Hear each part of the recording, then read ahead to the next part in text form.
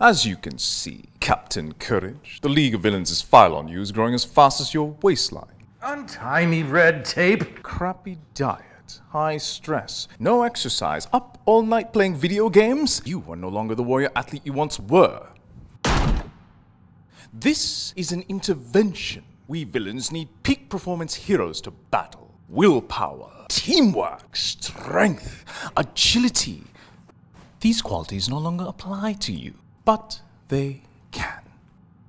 HPRC Online, your ticket to getting back in the game and acing your performance reports again.